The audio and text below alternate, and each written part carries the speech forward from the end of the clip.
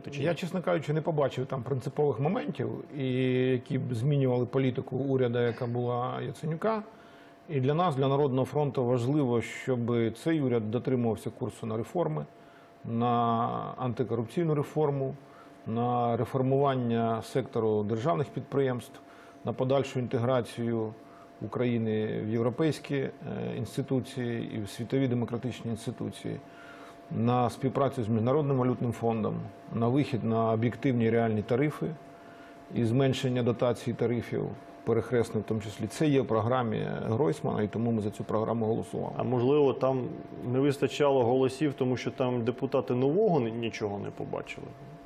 Як Ну а ми слухайте, ми з самого так початку довго збирали голоси за Ми програму? от з самого початку говорили, що будь-який уряд, який прийде після уряду Яценюка, він буде приречений робити те саме. Ну для мене абсолютно очевидно, що на відставці Яценюка ми просто спустили пар. А те, що робив Це уряд Яценюка, ну все одно вони змушені це робити. Бо процес реформ, ми, якщо хочемо інтегруватися в цивілізований світ, ми змушені робити те, що робив уряд Яценюка.